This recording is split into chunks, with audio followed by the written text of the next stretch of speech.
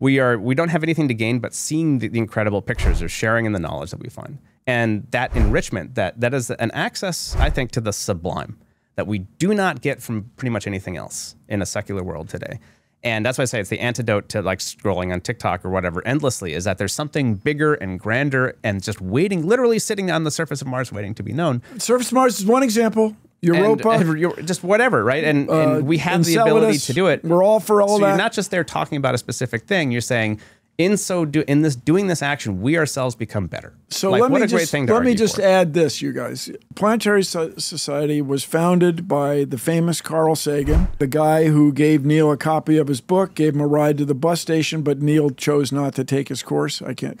You have to take that up with him.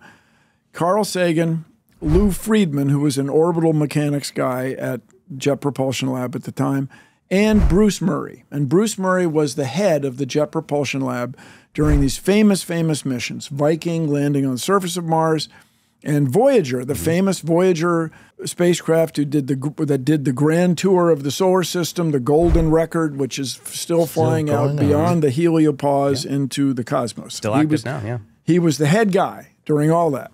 And he famously was asked, Why are you building these spacecraft? What are you going to find? We don't know what we're going to find. That's what we're building them.